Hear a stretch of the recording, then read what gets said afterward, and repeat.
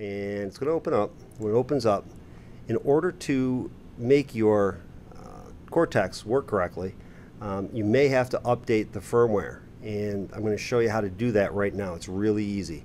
Once your Cortex is plugged in and it's powered on and it's working and you have two green lights on the Cortex, you're going to go to Robot, download firmware, automatically update VEX Cortex never works in my classroom on any of the computers in my lab, nor has it ever worked on my laptop. So I always use manual update for firmware.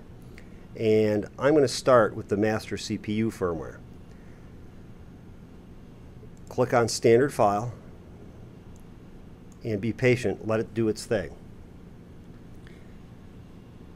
Basically what this is doing is erasing the firmware that's in the Cortex and replacing it with an updated version.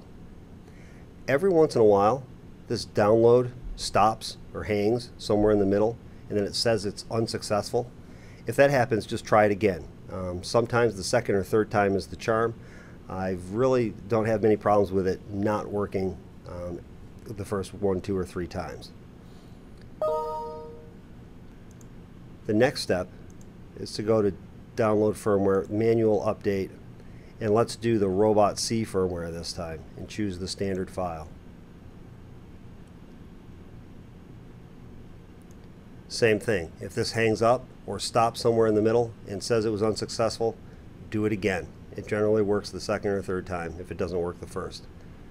Must be my lucky day because both of them worked. Well, okay, both of them worked first time. Now your, your Cortex is ready uh, to be programmed.